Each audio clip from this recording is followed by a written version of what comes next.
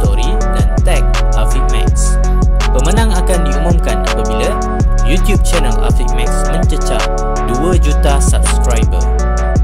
All the best!